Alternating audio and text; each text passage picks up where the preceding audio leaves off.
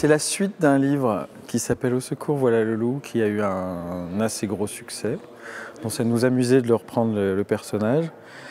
Et dans ce premier livre, on devait, il y avait un loup qui nous menaçait et on devait s'en débarrasser en secouant le livre, en tournant le livre, en, le penchant, comme si c'était un objet interactif. Et du coup, là, on reprend le même principe, sauf que le loup est tombé dans un trou et il nous demande de l'aide pour s'en sortir.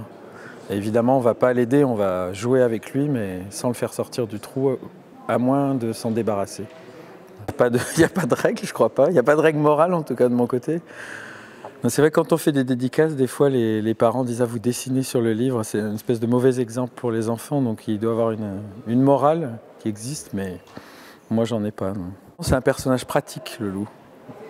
Parce que si on veut évoquer la peur et qu'on n'a que 15 pages et 3 mots par page, c'est plus pratique de mettre un loup qu'un, je sais pas, un ours ou quoi. Un ours ça peut être menaçant, mais ça peut être gentil. Donc on sait tout de suite qu'on est dans la peur et la menace.